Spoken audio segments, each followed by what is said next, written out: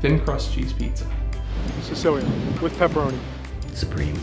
Bacon, mushrooms, sausage, peppers, onions, the supreme, the whole works. The works. Grandma pie, I could eat the whole pie. No, I'm pretty much I like it all, except anchovies.